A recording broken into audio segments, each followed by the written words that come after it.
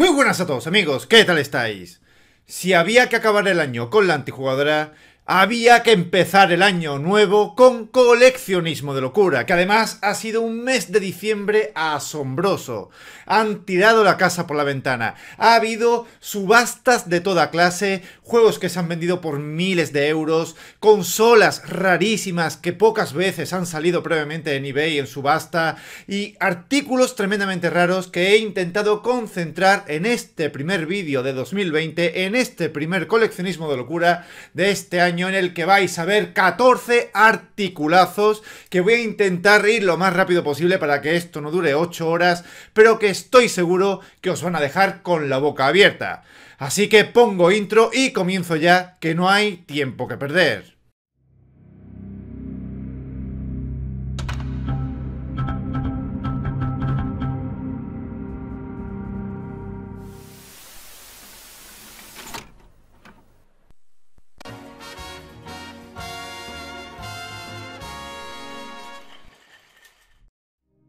Y como sé que más de uno ha hecho clic en este vídeo, atraído sobre todo por el título que le he puesto y ya se cierne sobre mí la sombra de la sospecha de haber hecho clickbait y de haberme basado en una mentira o una falacia para atraer visitas indiscriminadamente, he decidido darle prioridad a este primer artículo que no era mi intención para demostrar que no miento, que no es mentira, que existe verdaderamente una PlayStation 4 Pro que además de cargar juegos evidentemente también carga backups o copias de seguridad, pero que tiene truco, porque no se puede comprar en tiendas, sino que es el kit de desarrollo, es decir, la PlayStation 4 que Sony distribuyó a aquellas compañías o desarrolladores para que desarrollaron juegos para esta consola.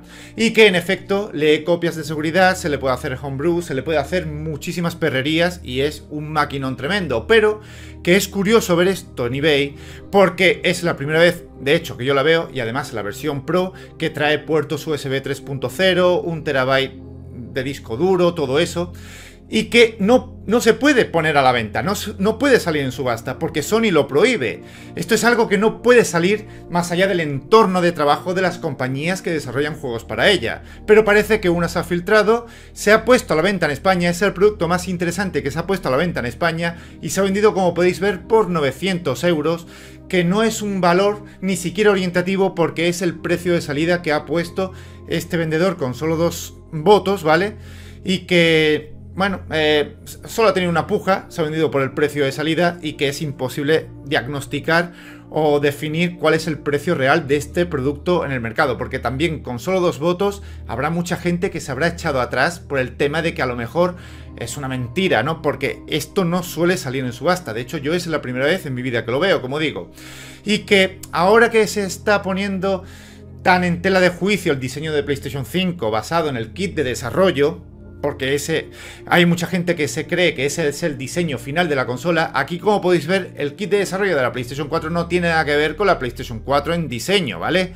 A lo mejor guarda incluso más semejanzas de las que va a tener la PlayStation 5 con respecto al kit de desarrollo, que por cierto en diseño es horrible. Pero para que veáis que kit de desarrollo tiene un, diseño y la consola final tiene otro.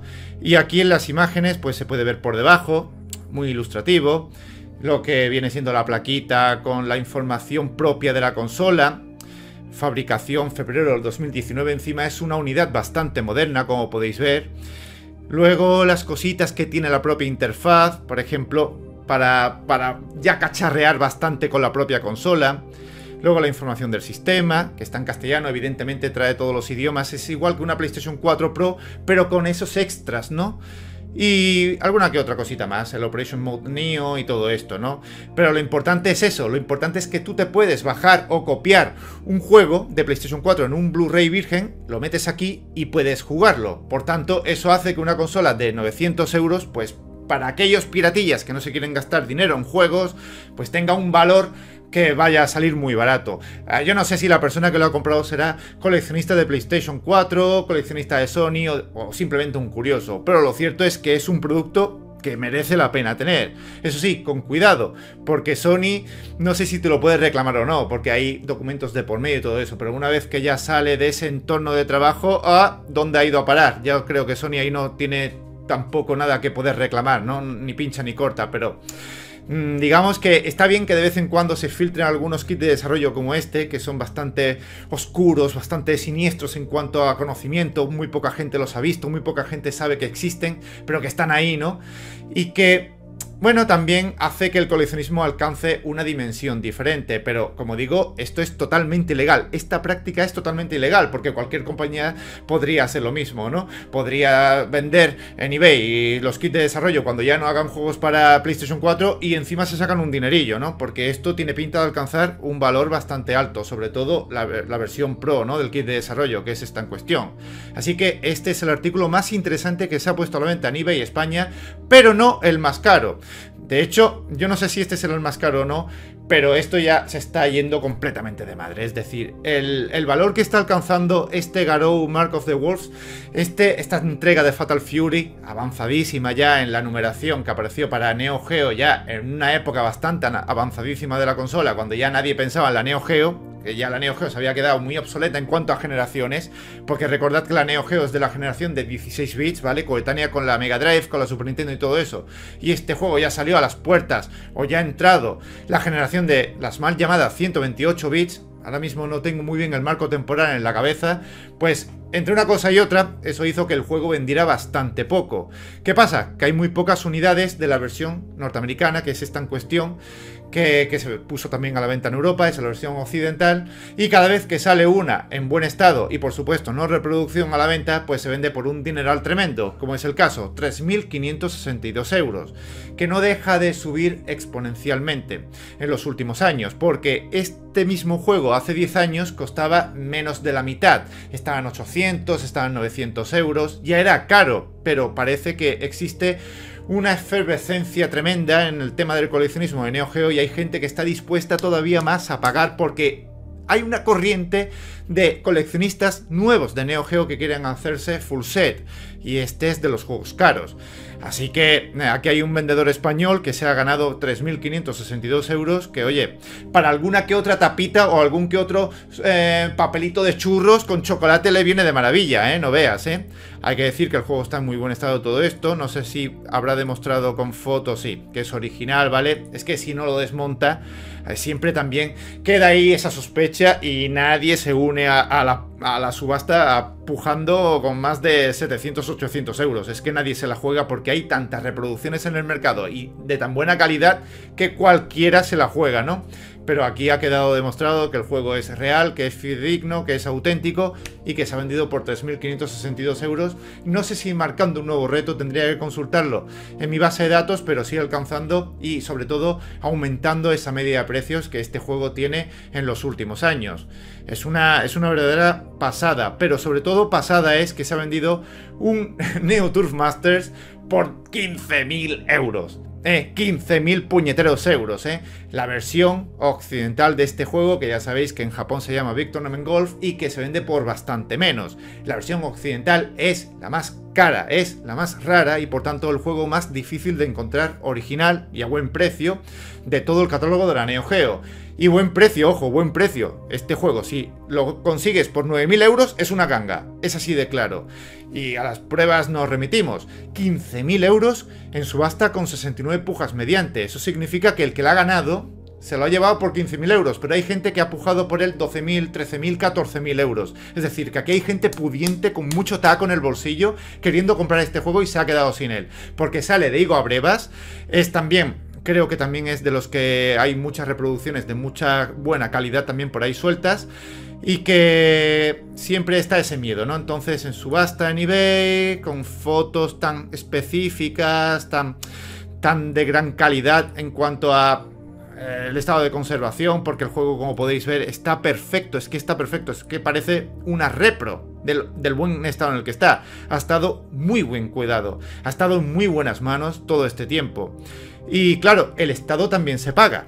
Eso es así, porque si lo encuentras completo, pero con una pequeña rajita en la caja, el manual tiene una hoja que le falta, un doblez, o está despintado, no porque le ha dado el sol o lo que sea, ya eso hace que el precio del cartucho caiga 2.000 o 3.000 euros, que al fin y al cabo da igual, porque si lo quieres para jugar, lo mismo te vale. Pero lo cierto es que hay gente que de verdad quiere tener colecciones impolutas y ya cuando ve, cuando ve un Neo Masters en este estado, directamente dice, mira, ya igual, hipoteco mi mujer si hace falta. A mi mujer si hace falta para, para poder comprarme este juego. Aquí, por ejemplo, ya dejamos el tema de los juegos caros, pero no de los productos caros, porque todos los de aquí son caros, aunque hay alguno que otro que no sale mal de precio. Fijaos qué maravilla, ¿eh? Una Atari 2600, es decir, un sistema que tiene ya 35 años, con caja, pero ¿qué tiene de especial? Lo que veis aquí en pantalla. Únicamente para uso promocional, prohibida su reventa. Es la Atari 2600 que Atari enviaba a las tiendas para que la expusiera. ¿Vale? Para que pusiera la consola en un kiosco, para que la conectara a una tele y la gente pudiera jugar, lo que sea. Es decir, esta no es para vender, las otras sí es para vender. Y como podéis ver, tiene un diseño de la caja propio, exclusivo, evidentemente. Está en muy buen estado para los años que tiene, es decir, ha estado también en buenas manos, ha estado sobre todo en manos de coleccionistas, o bien ha estado en el almacén de una tienda durante muchísimos años y ha aparecido por, por arte de magia, como suele pasar algunas veces. Oye, que de vez en cuando ocurre eso, ¿eh?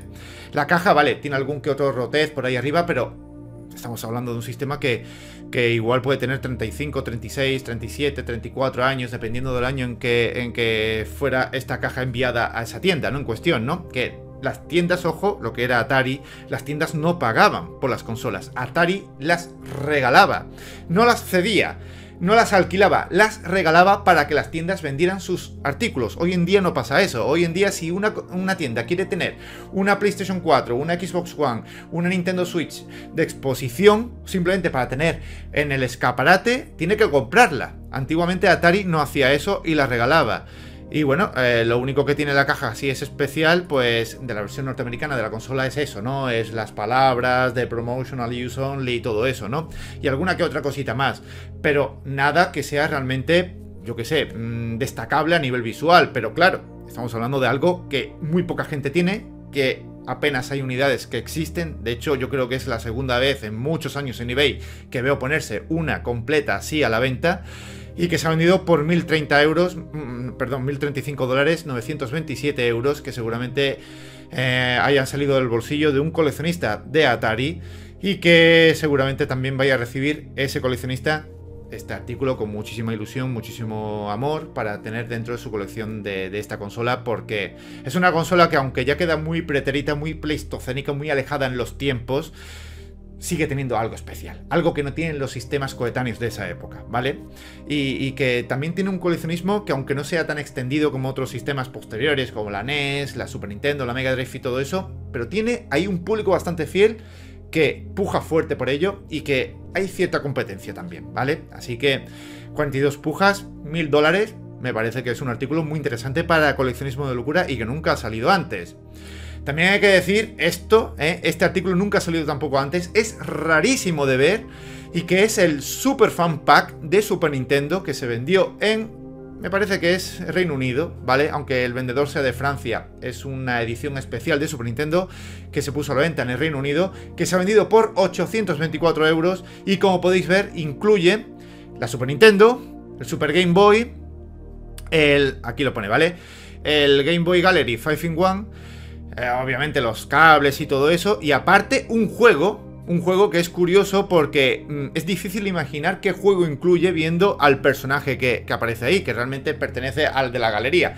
¿Qué juego será? Pues lo normal es pensar que es un juego de Game Boy, el típico juego que viene en los packs de Super Nintendo, véase Donkey Kong Country, véase Super Mario World, véase Street Fighter 2, y que en realidad es este, el Kid Clown in Crazy Chase, es decir, un juego impropio dentro de un pack de Super Nintendo. ¿Cómo demonios metieron este, este juego en ese pack? Es rarísimo, ¿verdad? Pero lo raro no es esto. Hasta aquí todo normal, es un pack extrañísimo de encontrar y de ver. 824 euros parece algo lógico, pero yo lo traigo aquí porque esto es coleccionismo de locura y aquí ha habido ya mucha mucha madera en este en este bosque, mucha madera en este bosque en este sentido, porque aunque todo el mundo vea esto, qué bonito el pack, qué bonita la caja. Oye, por delante, por detrás, qué chulo, pero aquí ya hay algo sospechoso. ¿Qué es esto? Uy, ¿qué es esto, amigo? Parece que la caja es un poco grande, parece que la caja cede por algún lado. Pues sí, en efecto, cede porque es un puñetero cartón recubridor. Otra vez estamos hablando de un puñetero cartón recubridor, es decir, que la consola, ¿vale? El pack, mejor dicho, El pack es simplemente la consola base con el Kid Clown Crazy Chase que se vendía en cualquier tienda y que no es un juego valorado hoy en día apenas, un pad adicional, la Super Game Boy, el juego de Game Boy, el, Game Boy Gallery y ya está. Es decir, si tú compras la consola, el control set por un lado, el Kid Clown por otro, el pad por otro y tal, te puedes gastar a lo mejor 200 euros. Entonces, ¿cómo se ha vendido por 824? Pues se han pagado 600 euros más por el cartoncito recubridor, el puñetero cartoncito rojo. Este tan bonito que veis aquí, que no le ha hecho una, una foto por separado, por deferencia a la vergüenza que tiene que sentir que haya gente que pague realmente 600 euros por un puñetero cartón recubridor, que parece que esto es una tónica que se daba en ese momento, pero que en los coleccionistas se da todavía más, porque vale, tú en ese momento te podías comprar un pack que no era especial para nada, simplemente era algo que se hacía una distribuidora, la propia Nintendo o alguna tienda, algo muy en concreto, muy específico para darle otro color a una edición de Super Nintendo, a la base en este caso, para venderlo con algún añadido más. ¿Vale? Hacerlo característico, hacerlo propio. Pero eso no significa que esto sea un pack especial y oficial per se. No, no, no, no. Mientras tenga esta caja ¿Dónde está la foto? Mientras tenga la caja del control set normal y corriente, este que, esta que veis aquí, estamos hablando de que aquí lo único especial es el puñetero cartón recubridor y por tanto eso es lo que ha hecho que esto se haya vendido por 824 euros. No sé si me he exaltado demasiado, si lo he dicho todo apelotonado, pero de nuevo estamos ante un ejemplo de que un cartón, un cartón con cuatro esquinas de color rojizo, muy bonito, todo lo que queráis, rarísimo de ver, pero que se dobla con solo verlo, en el momento que lo sacas, ¿vale? Que sacas el interior, mejor dicho, y lo dejas ahí suelto a la mínima se dobla, a la mínima se puede romper, está siempre expuesto al toqueteo, está expuesto a las esquinas que se rompan, está expuesto a aquello que pongas encima segunda. Y eso ha costado 600 euros. Coleccionismo de locura. Una vez más. Una vez más. Y van ya unas cuantas desde que comencé esta sección. Unas cuantas. Los pitufos, Sonic Knuckles, el mes pasado otro. Madre mía, madre mía, ¿eh? Madre mía. Siguiente. Ah, esto también se va de madre. Esto se va completamente de madre. Otra vez coleccionismo de locura en todo su esplendor. ¿Qué pasa con el Little Samsung de la NES versión norteamericana? ¿Qué demonios pasa? Este juego es caro. En todas sus versiones. Bueno, no sé la japonesa, ahora mismo no, no tengo tampoco constancia de ello, no, no recuerdo. Pero la española, por ejemplo, la PAL es careta. Pero en Estados Unidos, ¿Qué le pasa a este juego? ¿Por qué? ¿Por qué hace? Ojo, ¿eh? Ojo el dato que voy a dar. ¿Por qué hace 15 años este juego se vendía por 100 dólares? Hace 15 años, en el 2004, 2005 ya, que estamos en el 2020, se vendía por 100 dólares y ahora se vende por 2.675 dólares, 36 pujas mediante. Vale, hay que decir que el juego está en muy buen estado. De nuevo, la caja está completa, tiene el propio paso del tiempo, tiene el propio manoseo, ¿vale? No se puede pedir tampoco mucho más. Pero está el juego completo, mira, lo ha desmontado para demostrar su autenticidad, el cartucho pues no tiene tampoco mucho uso, parece que tiene una pegatina aquí o algo raro, ¿no? Eh, eso, eso está mal, eso está mal. El manual está bien, tiene una pequeña doblez en la esquina, es decir, estamos hablando de un juego en buen estado, ¿vale? En muy buen estado, buen estado, como queráis llamarlo. Pero estamos hablando de que a lo mejor este juego uno puede entender que se pueda vender por 2.600 dólares precintado, no usado. Pero es que estamos llegando ya a una a unos niveles de locura y de absurdez tremendo, porque si hace 15 años se vendía por 100 dólares, hace 10 eh, años se vendía por 200 o 300 y ahora se vende por 2.600 dólares, es decir, ¿A qué límite vamos a llegar? Este juego no tiene techo, es de los juegos que más está subiendo en los últimos años, pero además una curva escarpadísima a diferencia de otros que llevan un ritmo de crecimiento normal, el promedio, ¿vale? Del mundo del coleccionismo, porque en los videojuegos no deja de aumentar esto que algunos llaman burbuja. Yo no considero ni que sea una burbuja ni una moda, yo creo que hay interés en coleccionar y hay gente que tiene dinero y que quiere revivir su infancia y que quiere tener juegos, porque, oye, hoy en día no está mal visto tener una colección de juegos. Antiguamente todo el mundo tenía colecciones de libros y decía, mira, una persona culta. Y durante mucho tiempo tener una colección de juegos es decir friki una persona friki, pero hoy en día cada vez más hay colecciones de películas, de libros, de juegos, todo eso. Entonces yo creo que esto va a seguir aumentando, no creo que esta burbuja vaya a explotar nunca porque no hay burbuja. Pero este juego no sigue ese, ese, ese proceso escalonado de subida de precio, sino que esto va, esto va completamente. Esto es como un globo cuando lo sueltas. Así sí, se va volando completamente. Y 2.600 dólares me lleva a pensar que dentro de un año, a este ritmo, se va a vender este mismo juego completo, un estado así, bueno, por 3.000 dólares. Al ritmo que va, sí. O 2.900, porque va aumentando la media anual en 300-400 dólares. Entonces, yo qué sé es que ya llega un momento en que ¿dónde está lo racional aquí? Es lo que siempre digo. Puedes tener un juego, ¿vale? Para jugarlo, para mirarlo, para lo que quieras, pero gastarte 2.600 dólares, si eres rico, vale, no hay problema. Pero lo malo es que en el coleccionismo no está metida gente rica. Hay gente que se obsesiona. Por ejemplo, a lo mejor el que ha comprado esto no tiene mucho dinero, pero quiere tener un full set de NES o quiere tener cuanto más juegos mejor. Y se, y se gasta 2.600 dólares. No sé, no sé cuál será la circunstancia del comprador, pero cada vez hay más gente que está pagando más dinero por juegos, por el mero hecho de tenerlos, por completar sus colecciones de la infancia, sus colecciones completas y todo eso. Y cada vez hay más pobres metidos en el mundo del coleccionismo gastando más y más y más, algo que no ocurría hace 10 años. Así que no sé por qué hago estas reflexiones apelotonadas, pero bueno, me ha salido así. Siguiente artículo, ojo al dato, ojo al dato. Aunque aquí ponga cacaondero, realmente es el Pop Slinger y que es un juego con una historia muy curiosa a sus espaldas y que hoy día, hoy día este juego se ha vendido como podéis ver por 1000 euros, pero no descarto en absoluto que dentro de X años puede alcanzar 2.000, 3.000, 4.000 o 5.000 euros. Bueno, 1.000 dólares. Estoy rebujando dólares y euros, pero bueno, más o menos me entendéis, me pilláis, ¿no? Mientras tenga información visual en pantalla, si yo me equivoco, al menos tenéis el apoyo de la veracidad, ¿no? ¿Qué pasa con este juego? Si no conocéis la historia, voy a resumirla brevemente. Este juego es una mierda, para empezar, ¿vale? ¿Qué pasa? Que salió en PlayStation 4 y Steam. No vendió un cagarro ni en digital en PlayStation 4 ni en digital en Steam. De hecho, en Steam hasta hace poco no tenía ni una sola valoración. Pero hubo, hubo, ojo, una, una de tantas empresas de estas que hacen juegos limitados, que me parece que se, llamaba Limited eh, Rare Games o algo así, no recuerdo muy bien el nombre que como primer juego, como todas por ser novata y no tener un, bueno, digamos, una, una, fuerza, un músculo económico importante para hacerse con buenos juegos, todas les daban con las puertas en las narices, pues se puso en contacto con la compañía de, este juego y, bueno, eh, hicieron un pacto para hacer versiones físicas de él, ¿vale? La compañía de este juego que había fracasado con el lanzamiento del mismo porque malas valoraciones y malas ventas, pues, oye, pues si lo quieres hacer físico, nosotros encantados, ganamos dinero, ¿no? Y ellos pues pensaron también, oye, pues vamos a sacar un juego que no conoce ni Dios en físico, mil unidades o 800 unidades o lo que sea, ganamos dinero, la gente se ve saciada también en sus ansias de tener juegos limitados y es un win-win en toda regla, ¿no?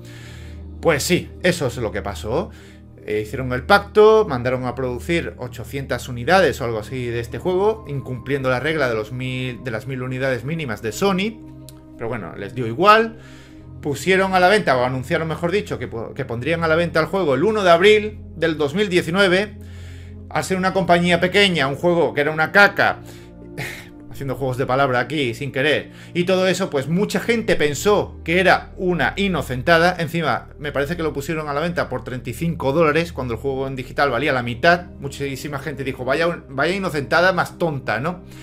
Y entre pitos y flautas, pues de las 820 unidades solo se vendieron 84.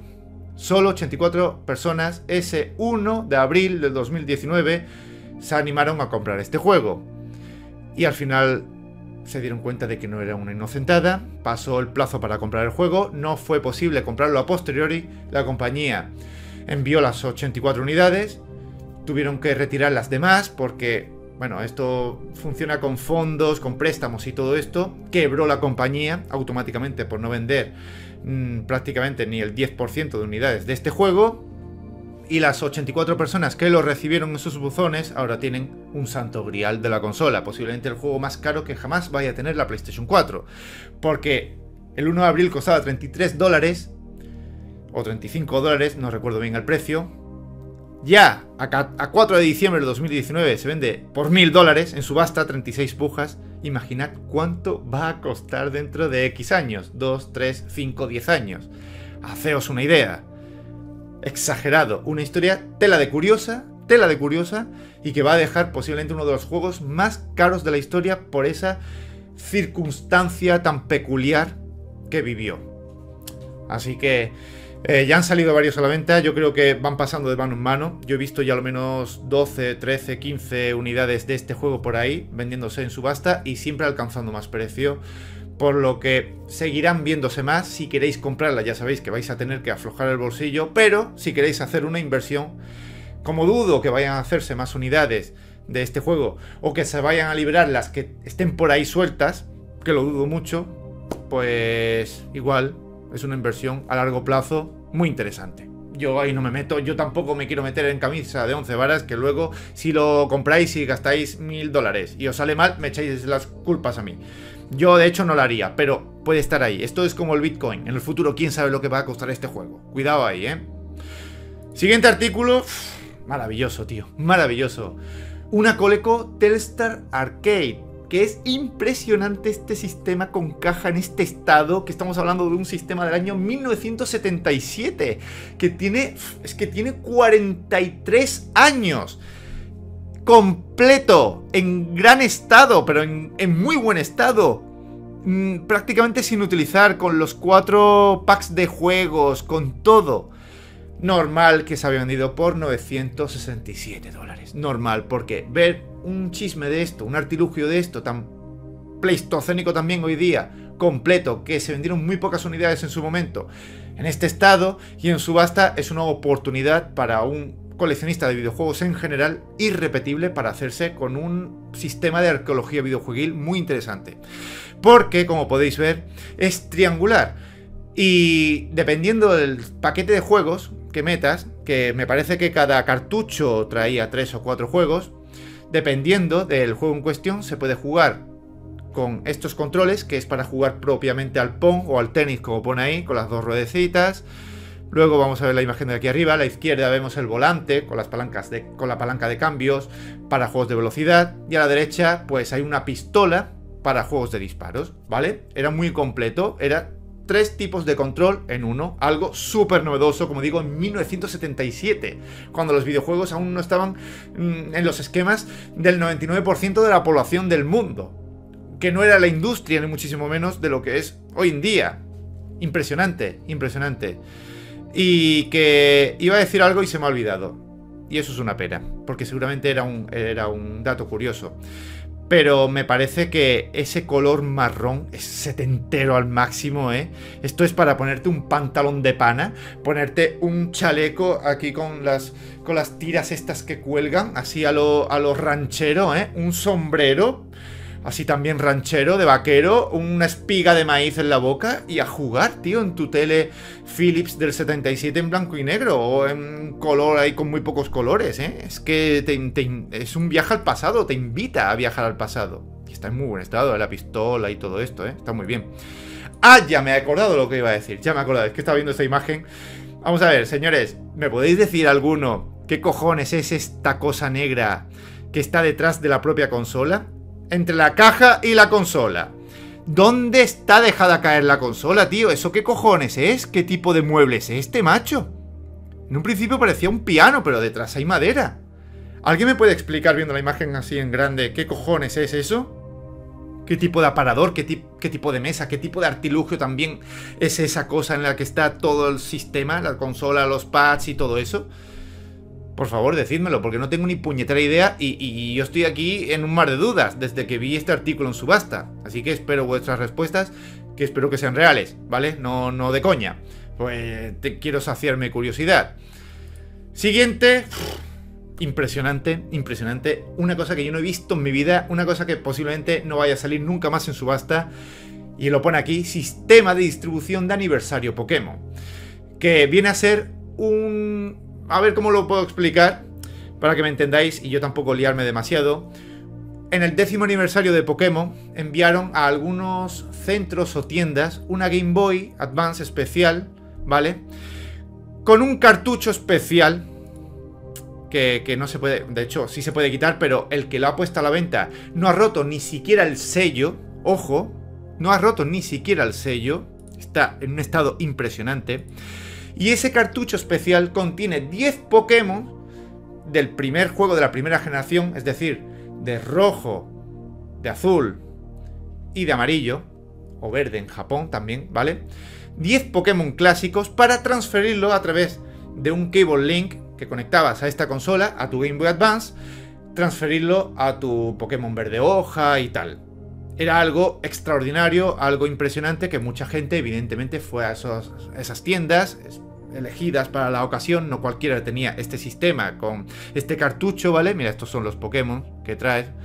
Mira, está Raikou, Pikachu, la, la, pantalla está rota como podéis ver, se le dio bastante uso, muchos niños brutos seguramente manipularon mal la consola, conectaron mal el cable por detrás que seguramente no funciona ni el puerto ni nada, pero estamos hablando de una Game Boy Advance con un cartucho único en el mundo, único prácticamente porque me parece que existen únicamente 10 o 12 en Europa y tres o cuatro fueron a Reino Unido, tres o cuatro a España. Hay información difusa sobre esto, hay gente que dice que hay centenares de unidades, pero la cuestión es que si hay muchas, no se sabe dónde están. Si se destruyeron, si se devolvieron a Nintendo, yo qué sé.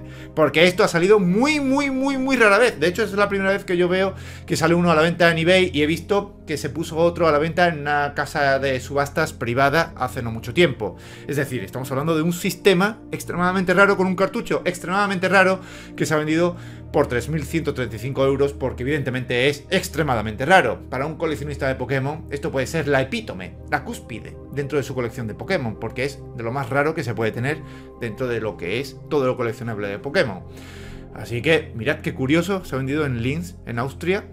Eh, no Lindt, ¿eh? buenos chocolates y que Coleccionismo de Locura sigue trayendo artículos realmente interesantes que yo Debo de reconocer que no sabía su existencia hasta que el 1 de diciembre vi esta subasta acabar, vi los precios y tal, y me informé y me dije, madre mía, pero tío, ¿cuántas aristas tiene esta industria? Esto es una fuente inagotable de conocimientos, de curiosidades, de artículos. Madre mía, es una auténtica locura. Mira esto, por ejemplo, si habéis visto el vídeo de los eh, todos los modelos de Game Boy creo que sí lo hice, ¿no? De Game Boy Pocket, creo que sí, ya no recuerdo, fue hace tantos años. Además, me parece que no es de los vídeos odiados por mucha gente, así que no lo tengo tan presente.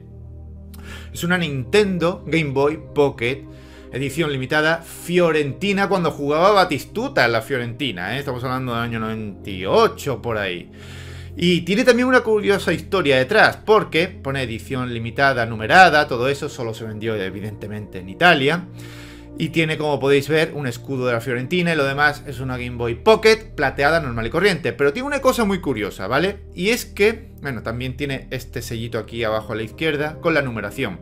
La cosa curiosa es que solo se hicieron 300, 300 unidades. Pero hubo un error de imprenta y la, la pegatina o la plaquita o esto hace que figuren 3.000 unidades, pero realmente solo se hicieron 300.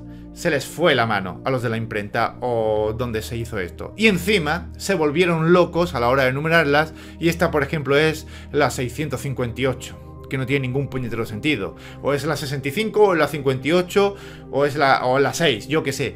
Pero si solo hay 300, ¿cómo es la 658? Es decir, que los que se encargaron de hacer las plaquitas se les fue la cabeza completamente. La cagaron estrepitosamente y queda también esa curiosidad de que es una edición limitada, pero que tiene un error bastante flagrante en la numeración y que se fue completamente al traste. Y viene en la cajita especial, la, distribuidora fue Geek, que seguramente la tengáis más o menos presente si habéis comprado algo de Super Nintendo o de Game Boy en estado nuevo hace no mucho, en los últimos años, porque Parece que hace poco encontraron en un almacén muchísimos juegos de Super Nintendo o de Game Boy distribuidos por Gig que lo han puesto a la venta en eBay y que se venden muy baratos. Mm, me suena, por ejemplo, el Obelix de, Super Nintendo, que se puede encontrar por 20 euros a lo mejor, nuevo, precintado, porque tiene Gig todavía a patadas, unidades, etc. Y incluía dos juegos, como podéis ver, el Striker y el Super Mario Land. Bueno, un juego de fútbol, menos mal, ¿no? Digo yo, que, siendo una edición conmemorativa para personas futboleras, aficionados de la Fiorentina, que menos que incluir un juego de fútbol. Pues sí, eso hicieron. ¿Y soccer? ¿Cómo soccer? Este es el Striker. El World Cup Striker. No entiendo. Se llamó... Vamos a ver, ¿se llamó en Europa o en Italia soccer? No tiene ningún puñetero sentido si es el Striker, ¿no? Bueno, ya lo miraré después, si no ya me diréis en los comentarios qué pasa ahí con el tema del nombre de este juego, que no me cuadra. Y tenía algo más que decir, pero se me ha ido el santo del cielo y el tiempo apremia. Así que siguiente artículo, mirad qué articulazo, esto es impresionante. Porque siempre se dice, no, no, la PlayStation 1, la PS1 fue la primera que tuvo una pantalla, una donde una pantalla, fue la primera que se pudo jugar así. Luego te dicen, no, la Drinkas, también con la Trencas, la pirata, esa que se hizo en China, tal y cual. Y no, ni una ni otra. La primera consola que se pudo jugar de forma portátil, la primera consola de sobremesa que se pudo jugar de forma portátil con una pantalla integrada, fue la CDI la Philips CDI, que hay mucha gente que no lo considera una consola, pero ciertamente lo es, porque aunque Philips en su momento no la ideó como una consola inicialmente, sino como un aparato multimedia, al final vieron el tirón de que había una nueva generación en camino, la de PlayStation, la de Saturn, la de, la de 3DO y todo eso, y dijeron, oye, pues vamos a darle un uso realmente videoconsolero a este sistema que nadie le da uso porque la gente ¿Para qué lo tiene? ¿Para ver enciclopedias? Pues vaya mierda. Y aprovechando que tiene el formato CD, pues mira, ya tenemos mucho hecho. Lo que pasa es que fue un fracaso tremendo porque para empezar el pad que venía para jugar era una mierda, los juegos eran FMV, eh, de Quick Time Events, también mucha mierda, y que nunca llegó a desarrollarse como consola. Pero sacaron esta versión portable portátil para eso, para que la gente pudiera jugar a la CDI en cualquier lado, porque encima funcionaba con batería también, no solo con transformador, sino que tenía una batería integrada. Tú podías ir en el coche jugando a la CDI con todos tus santos cojones. En el año 1993. En el 93. Impresionante. Algo que era inaudito. Algo que era impropio y que no hemos visto nunca más en una consola de sobremesa. Con tu propia.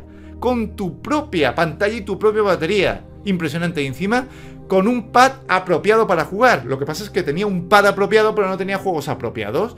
Pero mirad que es una, es, una obra de arte. Es una puñetera obra de arte. Encima también reproducía CDs, evidentemente, y todo eso.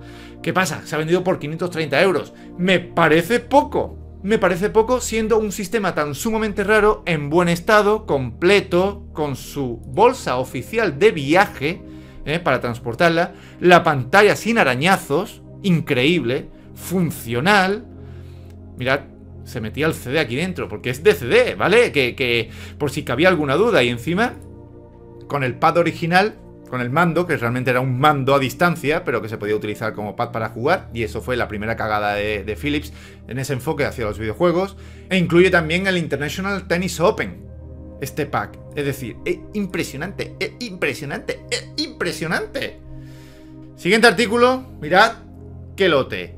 Ya llegan ahora tres lotes, ¿vale? Tres selecciones. Este lote yo no lo he visto en mi vida. Es un lote de 63 juegos de PlayStation 4, pero todos con un denominador común, y es para jugar con las gafas de realidad virtual. Hay lotes a mansalva de juegos de PlayStation 4, pero única y exclusivamente de juegos de PSVR, ninguno. Así que se ha vendido por 780 libras, 914 euros, que ha salido más o menos a 12 o 13 euros la unidad, no está nada mal. Y yo no sé si serán todos los juegos compatibles con las gafas de realidad virtual, me parece que no, al menos de los físicos, me parece que faltan unos cuantos, pero te digo una cosa, te compras las gafas y te compras este lote y tienes ya para sacarle partido a las gafas de realidad virtual durante años. Durante años, ¿eh? Porque está de todo, de todo. Juegos de edición limitada de Limited Run Games, que son juegos caros hoy en día. Juegos propiamente con una tirada bastante extensa, como Super Stardust Ultra VR o Doom VFR Drive Club VR, es decir, hay pesos pesados, hay juegos difíciles de encontrar hoy en día en el mercado de la segunda mano porque son limitados, hay juegos caretes, hay de muchos géneros y digamos que está gran parte de la creme de la creme del catálogo de la eh, PlayStation VR aquí en este lote, así que mola, ¿verdad? Mola mogollón, ¿eh? Impresionante, tío. Yo me lo habría pensado, si lo hubiera visto en el momento, eh, en activo la subasta, igual me lo habría pensado porque todavía no me he comprado las gafas y quiero desembarcar de verdad en la realidad virtual con muchos juegos por delante, no con uno o con dos. Y este lote es realmente interesante y sale muy, muy, muy bien de precio, muy bien de precio. Siguiente artículo.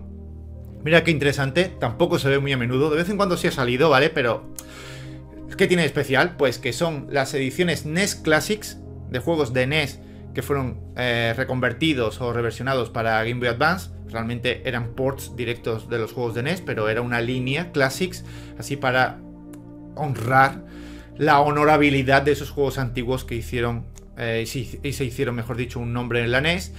Y que se ha vendido por 510 libras, 598 euros. Están los 12 que se lanzaron en Europa, porque en Japón fueron más, fueron lo menos 30. Y que tienen también una cosa curiosa, es que además de incluir la consola, también edición conmemorativa, la NES Edition, ¿vale? Con caja y todo eso, que no es una consola tampoco de las baratas, de las ediciones baratas de la Game Boy Advance. La mayoría están precintados. Todos menos uno, que es el Super Mario Bros. Todos están precintados. Por tanto, ha salido muy, muy, muy bien de precio este lote. Porque hay juegos aquí que ya usados, como Metroid, como Zelda, usados se pueden vender por 40, 50, 60, 70 euros. Precintados pues multiplicar mínimo por 2 o por 3. Entonces, es un lote diferente de Game Boy Advance, porque es un lote conmemorativo, ¿vale? Muy bien especificado, muy bien elegido, y que aparte tiene un factor de valor muy importante por tener 11 juegos de los 12 precintados, que ya es muy difícil encontrarlos así, y más en buen precio. Es un ahorro considerable comprarlos en un lote y es un precio que digo que 600 euros para este lote en concreto es cojonudo. Así que mirad qué curioso. Y el último lote es una obra de arquitectura. Es, ¿cómo decirlo? Desde el Coliseo romano no veía algo tan avanzado a nivel arquitectónicamente hablando. El Coliseo romano caído, digo. Porque... Madre mía. Madre mía. No, tiene, tiene mérito. Tiene mérito hacer tantas torres, algunas torcidas, y que no se caiga ninguno. Pero son 800 juegos, 800 juegos de PlayStation 2, 3, 4, Wii, Wii U, Xbox One, Xbox 360. 800 juegos, la mayoría completos, es decir, completos hay 760 más o menos, que se ha vendido por 2.371 dólares, 2.124 euros, menos de 3 euros la unidad y que tiene una presentación tan, tan, paupérrima, que diga, este lote que da asquito verlo, da auténticamente asquito y a priori parece un lote basura de estos que ya no aparecen de hace ya bastante tiempo en esta sección. Así a simple vista tú ves, ahí le da más protagonismo al felpudo en la foto que a los juegos. Tú dices, esto es un lote basura, ahí hay solo auténticas mierdas. Pero lo peor de todo es que te pones a desgranar uno a uno los juegos que hay muchos de PlayStation 4, muchos de Xbox One y todo eso. Y la mayoría son buenos juegos, no hay juegos de relleno, no hay auténticas mierdas, hay repetidos también y todo eso, pero ojo, los repetidos son The Witcher 3, cuidado, Pokémon Tournament, Uncharted 4, coño, Red Redemption 2. Hola, ¿cómo es posible que esos sean los repetidos? ¿Qué pasa aquí? Pues que esto es un señor lote enmascarado con una foto de lote basura, de lote desastroso, de lote que nadie quiere ver. Mirad el triciclo, qué bonito detrás, ¿eh? Y que te pones a ver, no voy a ponerme a ver uno a uno los juegos, pero os lo digo ya, es que hay muchísima calidad, hay muchísimo de lo mejor de los distintos catálogos de las consolas que están aquí representadas y que a menos de 3 euros la unidad es un pedazo de lote impresionante, muy mal vendido. ¿vale? Muy mal vendido. Eh, Red Dead Redemption 2 hay lo menos 15 repetidos. Es impresionante cómo tiene tantos repetidos. Y además, hay cosas curiosas. Mirad, por ejemplo, la torre de la derecha, cómo está torcida desde abajo. ¿Qué es lo que lo tuerce, tío?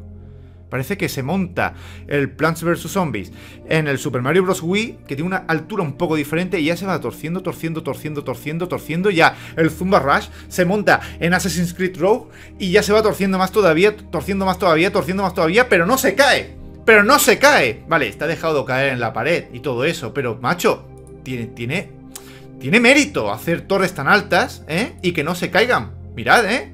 Mirad, es que parece que lo ha hecho adrede, el cabronazo. Parece que, quiere hacernos sufrir. En plan, empieza de abajo y ve cómo todo se tuerce de un lado para otro. y no se cae, tío.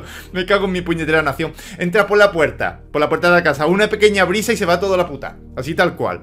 Pero bueno, eh, los juegos que hay sin caja son estos que veis aquí. Hay de PSP, hay de todo un poco, pero vamos, poquitas en comparación a todo lo que hay con caja, ¿vale? Y dice que hay algunos que necesitan un pulido y bueno, en fin.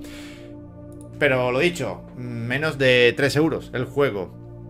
Y, no hacía envíos. Mm, recogida en casa. Ibas a su casa con un tráiler para, para coger todos esos juegos. En fin, yo espero que el que haya ganado esta subasta no se encontrara los juegos así, uno, de, uno encima de otro montados, sino que se lo encontrara un poquito mejor porque es un sufrimiento. Yo, estaría acojonado cogiendo los juegos de arriba a abajo porque siempre se cae alguno. Por muy estable que sea la torre, cuando las torres son de, de, 100 juegos, alguno se cae por cojones, aunque empieces muy cuidadosamente de arriba a abajo. Así que nada, que esto ha sido coleccionismo de locura este mes. Que nos vemos el mes que viene que seguro que enero también nos reserva muchísimos artículos curiosos. Y que... No sé, tengo una idea en mente que si coleccionismo de locura sigue funcionando muy bien, yo creo que puedo hacer una subsección dedicada a juegos y que, bueno, no, no, desvelo nada más por si no la hago, porque es muy probable que no la haga. Pero si sigue creciendo esta sección, porque el anterior vídeo de esta sección ha sido el, regreso de la sección que diga, ha sido por todo lo alto, ha triplicado y cuadruplicado, tetraplicado, no sé cómo se dirá, eh, las cifras de los anteriores coleccionismo de locura, si sigue captando y generando interés, en lugar de uno, puedo hacer dos, no sé. Si la idea la veo guay, que puede cuajar y que puede interesaros, pues ya la llevaré a cabo. No adelanto nada más. Así que nada, amigos, Muchas gracias por acompañarme durante el 2019 en mi canal. Muchas gracias por estar aquí en el 2020. Espero que sigáis a mi lado, que sigamos creciendo en esta familia y que sigamos disfrutando y aprendiendo con los videojuegos porque mola este sector. Mola este hobby. Mola esta vida, coño. Qué, qué alegría estar vivo en este 2020. Qué alegría, joder. En fin, un saludo.